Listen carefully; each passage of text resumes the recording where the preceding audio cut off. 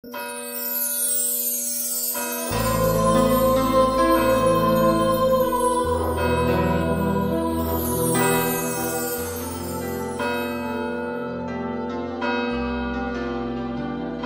el nombre del Padre, y del Hijo, y del Espíritu Santo, el Señor esté con vosotros. Parece ser que habéis pasado una semana bastante dura aquí en Madrid con la ola de calor. Yo he tenido la suerte de estar predicando ejercicios en Riaza, donde hacía calor por el día, pero refrescaba por la noche, con lo cual eh, al menos hemos podido descansar sin sentir el agobio del calor estival. Vamos a prepararnos para celebrar la Eucaristía dando gracias al Señor por su misericordia. Y recuerdo a los papás que tienen niños en edad de merecer, esos niños que tienen vocación de Pavarotti para cantar y proclamar las alegrías del mundo, que tenemos una fabulosa capilla acristalada con su aire acondicionado, su megafonía. Si quieren pueden entrar, que no quieren, pues se quedan en el templo. Pero a veces los papás se ponen nerviosos cuando los niños lloran y se marchan de la iglesia. No, los niños tienen que estar en la iglesia y participar de la Eucaristía, pero si están en la capilla, pues fabuloso, mucho mejor. Pues nos preparamos para celebrar la Eucaristía, como siempre, dando gracias al Señor por su misericordia, dándole y pidiéndole también perdón por nuestras faltas. Tú que has venido a salvar a los pobres, Señor, ten piedad. Tú que dijiste que había en el cielo más alegría por un solo pecador que se convirtiera, que por 99 justos que no necesitan conversión, Cristo ten piedad. Tú que eres el camino, la verdad y la vida, Señor, ten piedad. Dios Todopoderoso, tenga misericordia de nosotros, perdone nuestros pecados y nos lleve a la vida eterna. Gloria a Dios en el cielo y en la tierra paz a los hombres que ama el Señor. Por tu inmensa gloria te alabamos, te bendecimos, te adoramos, te glorificamos. Te damos gracias, Señor Dios, Rey Celestial, Dios Padre Todopoderoso, Señor Hijo único Jesucristo, Señor Dios, Cordero de Dios, Hijo del Padre, tú que quitas el pecado del mundo, ten piedad de nosotros. Tú que quitas el pecado del mundo, atiende nuestras súplicas. Tú que estás sentado a la derecha del Padre, ten piedad de nosotros, porque solo tú eres santo, solo tú, Señor, solo tú, Altísimo Jesucristo, con el Espíritu Santo, en la gloria de Dios Padre. Amén. Oremos. Dios Todopoderoso y Eterno, a quien, instruidos por el Espíritu Santo, nos atrevemos a llamar Padre, renueva en nuestros corazones el espíritu de la adopción filial, para que merezcamos acceder a la herencia prometida por Jesucristo nuestro Señor.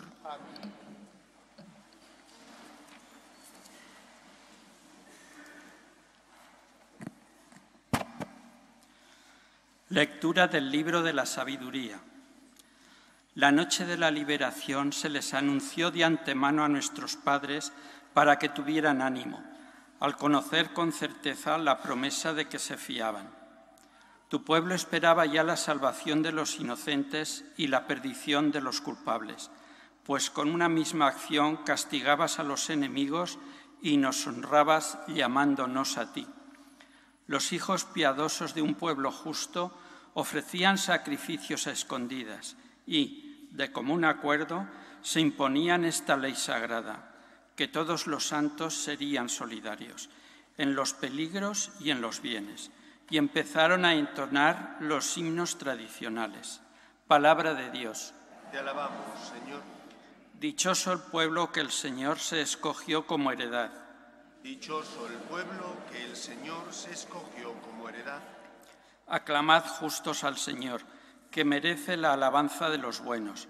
Dichosa la nación cuyo Dios es el Señor, el pueblo que Él se escogió como heredad.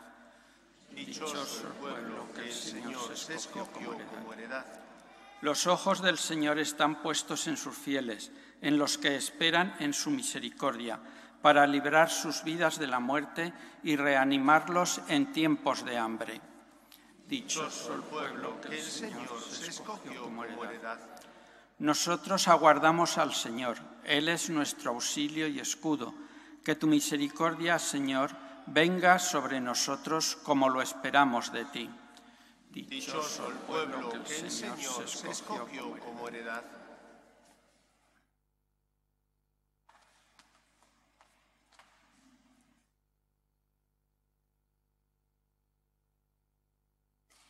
Lectura de la carta a los Hebreos. Hermanos, la fe es seguridad de lo que se espera y prueba de lo que no se ve. Por su fe son recordados los antiguos. Por fe obedeció Abraham a la llamada y salió hacia la tierra que iba a recibir en heredad. Salió sin saber a dónde iba. Por fe vivió como extranjero en la patria prometida habitando en tiendas, y lo mismo Isaac y Jacob, herederos de la misma promesa, mientras esperaba la ciudad de sólidos cimientos cuyo arquitecto y constructor iba a ser Dios. Por fe, también Sara, cuando ya le había pasado la edad, obtuvo fuerza para fundar un linaje, porque juzgó digno de fe al que se lo prometía. Y así de uno solo y en este aspecto ya extinguido, nacieron hijos numerosos como las estrellas del cielo y como la arena incontable de las playas. Con fe murieron todos estos sin haber recibido lo prometido, pero viéndolo y, saludándolo de lejos, confesando que eran huéspedes y peregrinos en la tierra. Es claro que así hablaban es claro que los que así hablaban están buscando una patria, pues si añoraban la patria de donde habían salido, estaban a tiempo para volver, pero ellos ansiaban una patria mejor, la del cielo. Por eso Dios no tiene reparo en llamarse su Dios, porque les tenía preparada una ciudad. Por fe, Abraham, puesto a prueba, ofreció a Isaac, y era su hijo único, lo que ofrecía el destinatario de la promesa del cual le había dicho Dios, Isaac continuará tu descendencia. Pero Abraham pensó que Dios tiene poder hasta para hacer resucitar muertos, y así recobró a Isaac como figura del futuro. Palabra de Dios. Te alabamos, Señor. Aleluya, aleluya.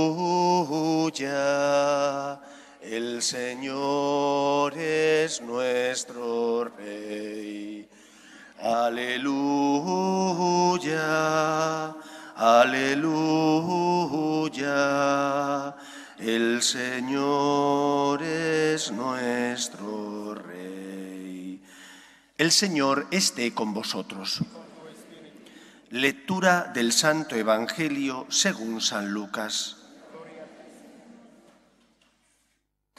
En aquel tiempo dijo Jesús a sus discípulos, No temas, pequeño rebaño, porque vuestro Padre ha, venido, ha tenido a bien daros el reino. Vended vuestros bienes y dad limosna, haceos talegas que no se echan a perder, y un tesoro inagotable en el cielo a donde no se acercan los ladrones ni roe la polilla, porque donde está vuestro tesoro, allí estará también vuestro corazón. Tened ceñida la cintura y encendidas las lámparas. Vosotros estad como los que aguardan a que su Señor vuelva de la boda, para abrirle apenas venga y llame. Dichosos los criados, a quienes el Señor al llegar los encuentre en vela. Os aseguro que se ceñirá, los hará sentar a la mesa y los irá sirviendo. Y si llega entrada la noche o de madrugada y los encuentra así, dichosos ellos, comprended que si supiera el dueño de casa a qué hora viene el ladrón, no le dejaría abrir un boquete. Lo mismo vosotros, estad preparados porque a la hora que menos penséis, viene el Hijo del Hombre. Pedro le preguntó, Señor, ¿has dicho esa parábola por nosotros o por todos? El Señor le respondió, ¿quién es el administrador fiel y solícito a quien el amo ha puesto al frente de su servidumbre para que le reparta la ración a sus horas? Dichoso el criado a quien su amo al llegar lo encuentre portándose así. Os aseguro que lo pondrá al frente de todos sus bienes. Pero si el empleado piensa, mi amo tarda en llegar, y empieza a pegarle a los mozos y a las muchachas, a comer y beber y emborracharse, llegará el amo de ese criado el día y a la hora que menos lo espera y lo despedirá, condenándolo a la pena de los que no son fieles. El criado que sabe lo que su amo quiere y no está dispuesto a ponerlo por obra, recibirá muchos azotes. El que no lo sabe, pero hace algo digno de castigo, recibirá pocos. Al que mucho se le dio, mucho se le exigirá. Al que mucho se le confió, más se le exigirá. Palabra del Señor.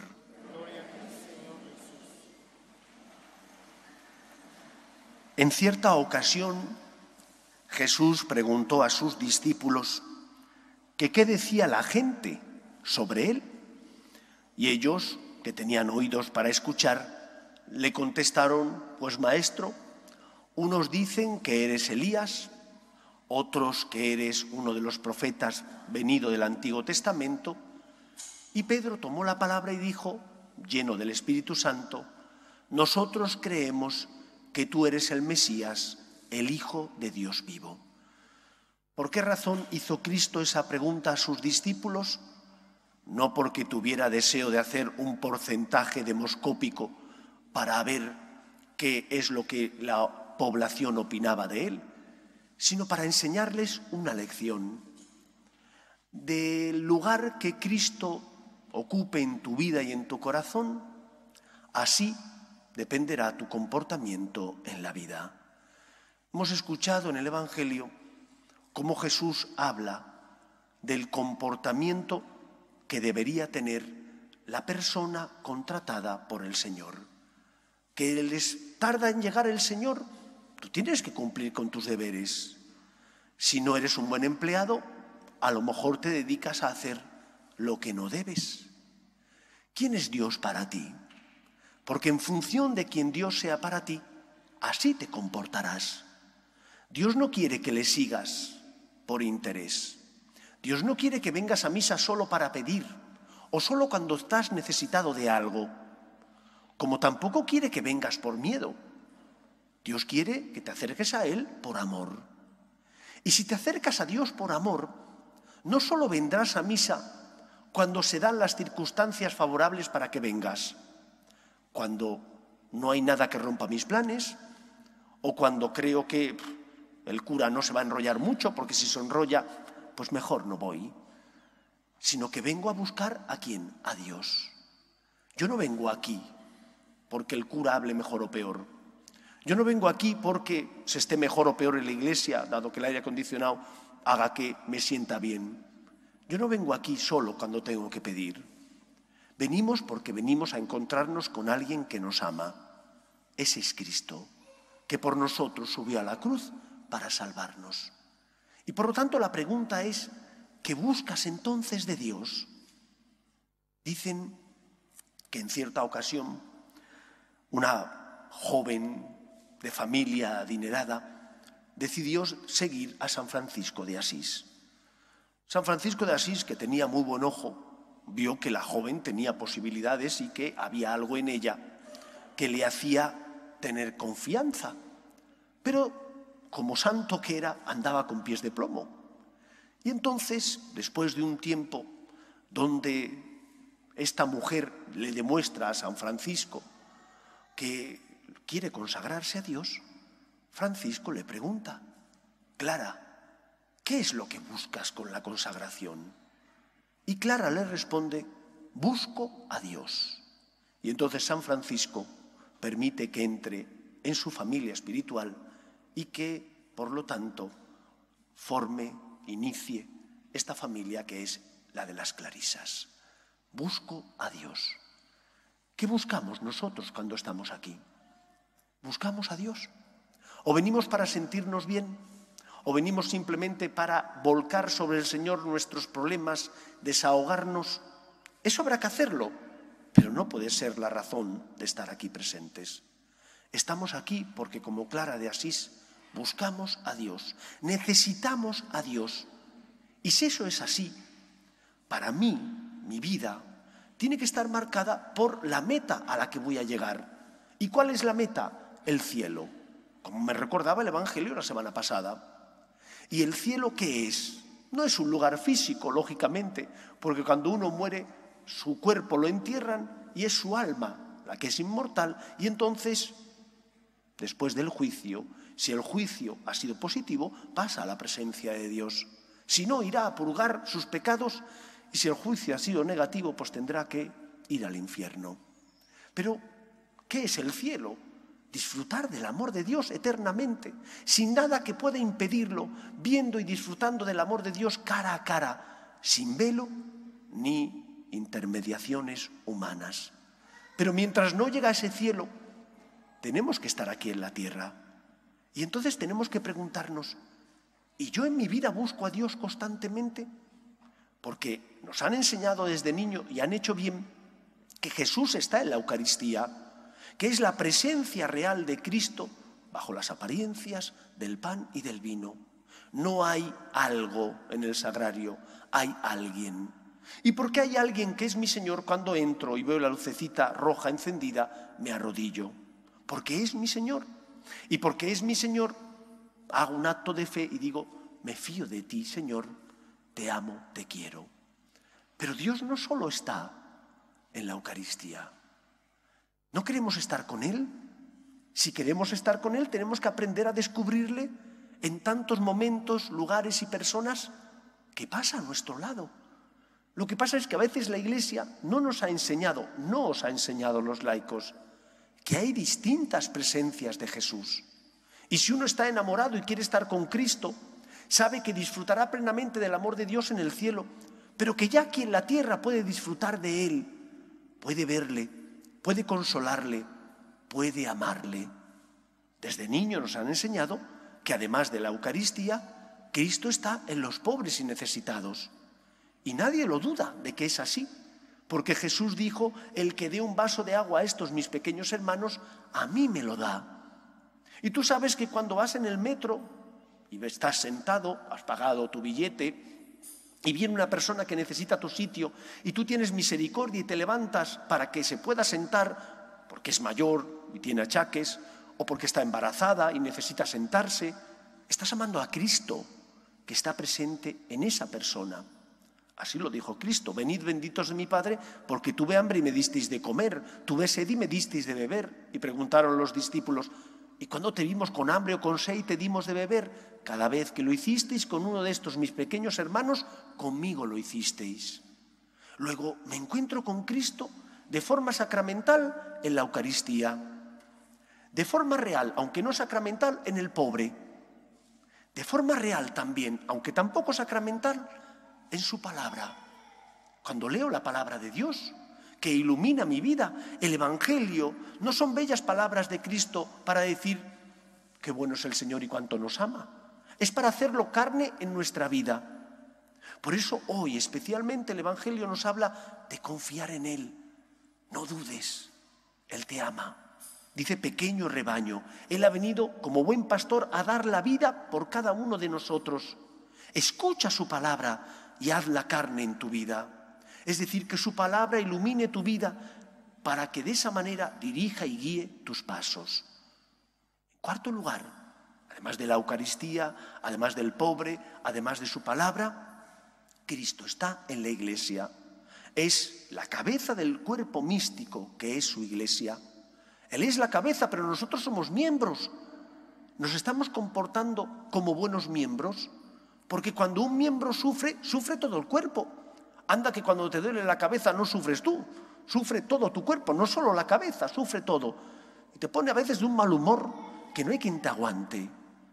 Cuando tú, como miembro de la Iglesia, no amas a Dios, no eres testigo suyo en el mundo, no das testimonio de que te has encontrado con aquel que te ama y que tu vida es distinta, el cuerpo no funciona bien. Es como el que tiene dolor de cabeza. Todo el cuerpo está afectado. Encontramos a Cristo en la iglesia. Somos parte del cuerpo místico de Cristo. En quinto lugar, encontramos a Cristo también en la oración. Todos sabemos que la oración es tratar de amistad a largos ratos con aquella persona que sabemos que nos ama.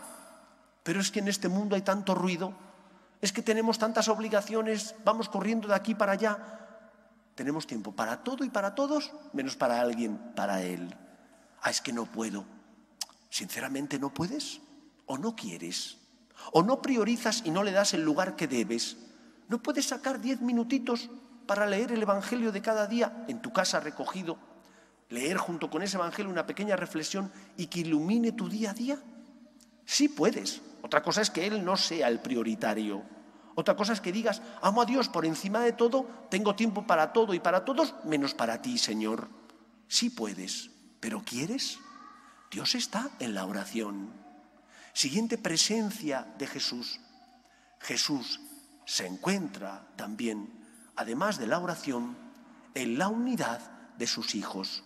Porque dice el Señor, donde dos o tres están unidos en mi nombre, yo estoy en medio de ellos. Ay, qué bien viene esto para el verano, ¿eh? En la unidad.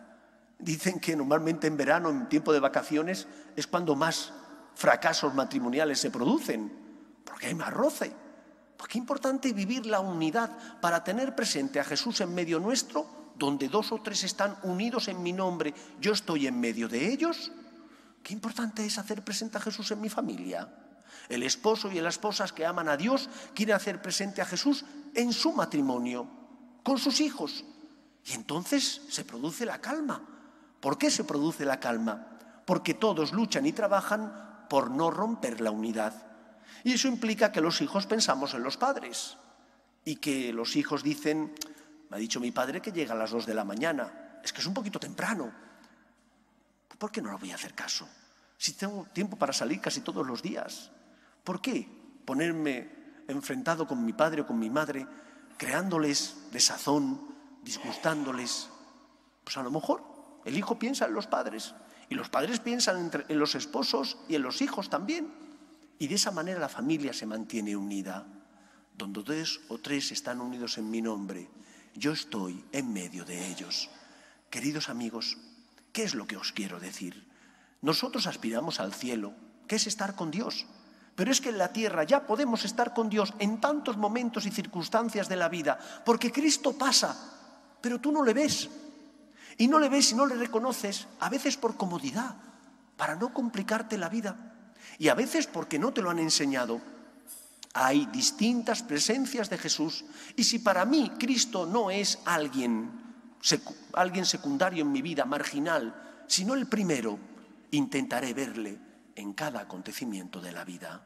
Jesús está en la Eucaristía, la presencia sacramental. Jesús está de forma real en mi hermano que sufre. Jesús está de forma real en la oración. Jesús está de forma real en su palabra. Jesús está de forma real en la iglesia. Y Jesús está de forma real también especialmente en la unidad, donde dos o tres están unidos en mi nombre, yo estoy en medio de ellos que si nos marchamos de vacaciones veamos a Jesús en nuestra vida y le amemos, le amemos viéndole, le amemos sirviéndole, le amemos procurando sobre todo la unidad en medio nuestro, en la familia y en el hogar. Merece la pena porque le amamos. ¿Quién dice la gente que soy yo? ¿Quién es Dios para ti? Si es tu Señor, aprenderás a buscarle, le encontrarás y ya aquí en la tierra disfrutarás anticipadamente de su visión plena en el cielo, pero lo disfrutarás anticipadamente y experimentarás ese amor de Dios que sale a tu encuentro. Que el Señor nos ayude. Nos ponemos en pie. Creo en un solo Dios, Padre Todopoderoso, Creador del cielo y de la tierra, de todo lo visible y lo invisible. Creo en un solo Señor Jesucristo Hijo único de Dios, nacido del Padre antes de todos los siglos, Dios de Dios, luz de luz, Dios verdadero de Dios verdadero, engendrado, no creado, de la misma naturaleza del Padre, por quien todo fue hecho, que por nosotros los hombres y por nuestra salvación bajó del cielo, y por obra del Espíritu Santo se encarnó de María la Virgen y se hizo hombre, y por nuestra causa fue crucificado en tiempos de Poncio Pilato, padeció y fue sepultado, y resucitó al tercer día según las Escrituras, y subió al cielo, y está sentado a la derecha del Padre, y de nuevo vendrá con gloria para juzgar a vivos y muertos, y su reino no tendrá fin. Creo en el Espíritu Santo, Señor y dador de vida, que procede del Padre y del Hijo, que con el Padre y el Hijo recibe una misma adoración y gloria, y que habló por los profetas. Creo en la Iglesia, que es una santa, católica y apostólica.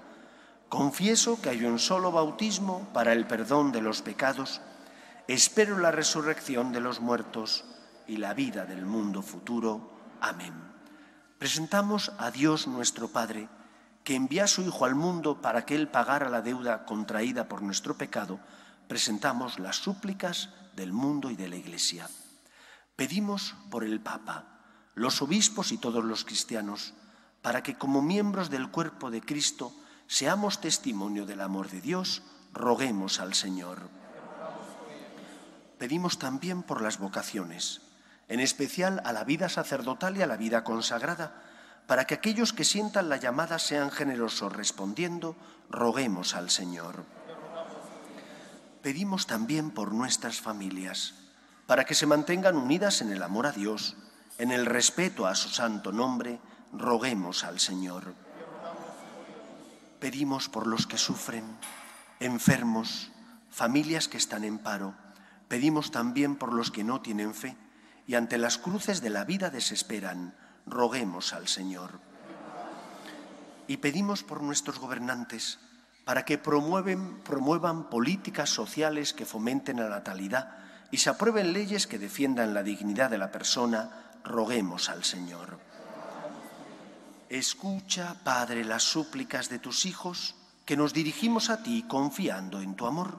Te lo pedimos por Jesucristo nuestro Señor.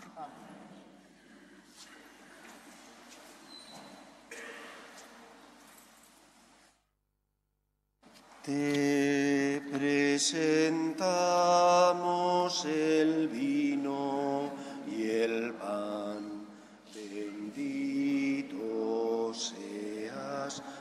siempre, Señor. Bendito seas, Señor, por este pan que nos diste fruto de la tierra y del trabajo de los hombres. Te presentamos el vino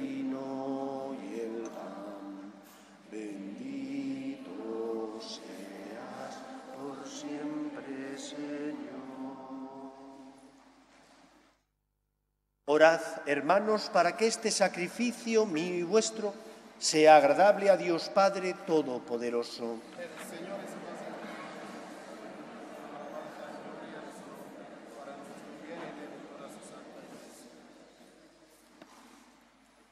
Acepta complacido, Señor, los dones que en tu misericordia has dado a tu Iglesia, para que pueda ofrecértelos, y que ahora transformas con tu poder en sacramento de nuestra salvación por Jesucristo nuestro Señor. El Señor esté con vosotros. Levantemos el corazón. Demos gracias al Señor nuestro Dios.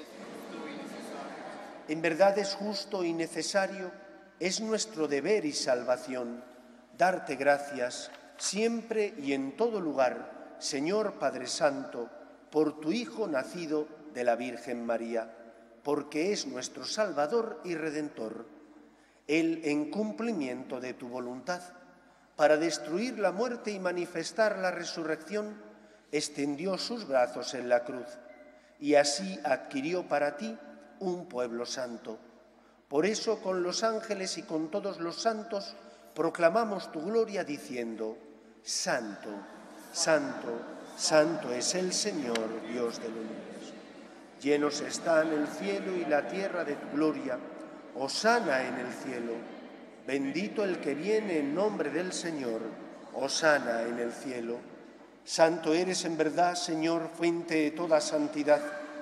Por eso te pedimos que santifiques estos dones con la efusión de tu Espíritu, de manera que se conviertan para nosotros en el cuerpo y la sangre de Jesucristo nuestro Señor, el cual, cuando iba a ser entregado a su pasión, voluntariamente aceptada, tomó pan. Dándote gracias lo partió y lo dio a sus discípulos diciendo, Tomad y comed todos de él, porque esto es mi cuerpo, que será entregado por vosotros.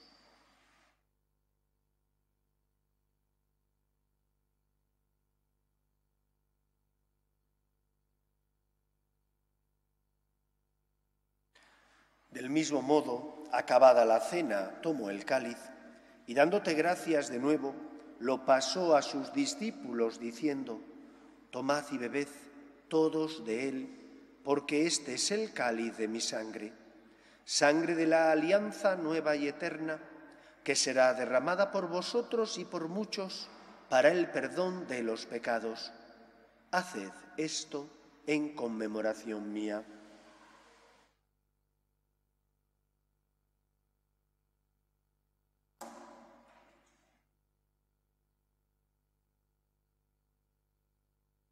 Este es el sacramento de nuestra fe.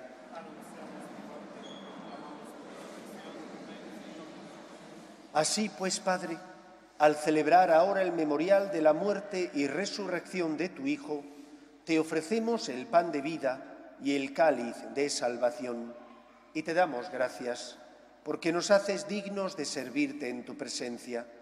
Te pedimos humildemente que el Espíritu Santo congregue en la unidad a cuantos participamos del cuerpo y sangre de Cristo.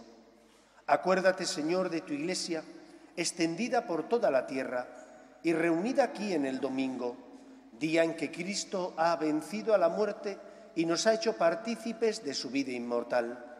Y con el Papa Francisco, con nuestro obispo Carlos y todos los pastores que cuidan de tu pueblo, llévala a su perfección por la caridad Acuerde también de nuestros hermanos que durmieron en la esperanza de la resurrección, de tus hijos Ramón, Blanca, Sandeli, Sandeni, Obdulia, José Manuel, Héctor, Giuseppe y difuntos de las familias Bielinis, Espada y Azcárraga Gonzalo, y de todos los que han muerto en tu misericordia, admítelos a contemplar la luz de tu rostro ten misericordia de todos nosotros, y así con María, la Virgen Madre de Dios, San José, los apóstoles y cuantos vivieron en tu amistad a través de los tiempos, merezcamos, por tu Hijo Jesucristo, compartir la vida eterna y cantar tus alabanzas. Por Cristo, con Él y en Él, a ti, Dios Padre Omnipotente, en la unidad del Espíritu Santo, todo honor y toda gloria, por los siglos de los siglos. Cristo pasa a tu lado, simplemente hace falta tener ojos para reconocerle. Está en la Eucaristía, está en el que sufre, está también en la voz de su palabra que ilumina nuestra vida, está en la iglesia, esa iglesia de la que formas parte y tienes que ser testimonio suyo en medio del mundo, está también en la oración y está también y sobre todo en la unidad conyugal, en la unidad de la familia, donde dos o tres están unidos en su nombre, allí está Él. No rompas la unidad, merece la pena estar con Cristo, ya gozas anticipadamente de los bienes que recibirás plenamente en el cielo. Vamos a rezar con confianza la oración que Jesús nos enseñó. Padre nuestro, que estás en el cielo, santificado sea tu nombre. Venga a nosotros tu reino. Hágase tu voluntad en la tierra como en el cielo. Danos hoy nuestro pan de cada día. Perdona nuestras ofensas como también nosotros perdonamos a los que nos ofenden. No nos dejes caer en la tentación y líbranos del mal. Líbranos de todos los males, Señor, y concédenos la paz en nuestros días, para que, ayudados por tu misericordia, vivamos siempre libres de pecado y protegidos de toda perturbación mientras esperamos la gloriosa venida de nuestro Salvador Jesucristo. Señor Jesucristo, que dijiste a tus apóstoles, la paz os dejo, mi paz os doy, no tengas en cuenta nuestros pecados, sino la fe de tu Iglesia, y conforme a tu palabra concédele la paz y la unidad. Tú que vives y reinas por los siglos de los siglos, la paz del Señor esté siempre con vosotros. Daos fraternalmente la paz.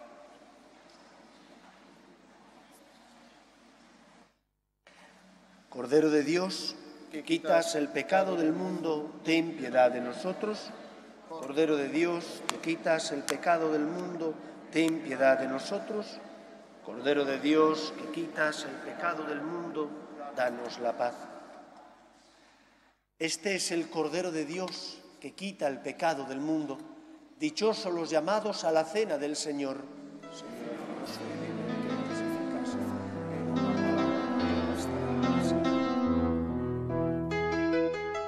Creo, Jesús mío, que estás realmente presente en el Santísimo Sacramento del altar. Te amo sobre todas las cosas y deseo recibirte dentro de mi alma. Pero como ahora no puedo comulgar, ven al menos espiritualmente a mi corazón.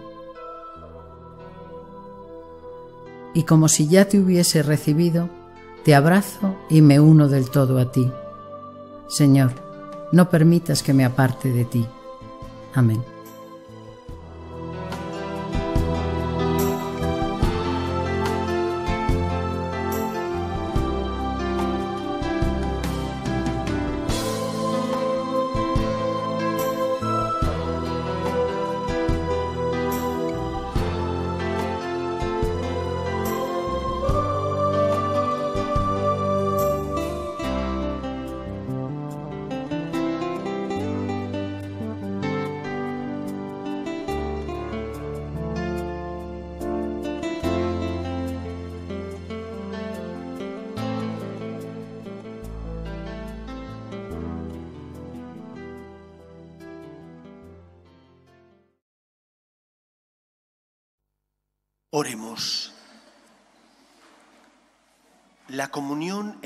Sacramentos nos salve, Señor, y nos afiance en la luz de tu verdad.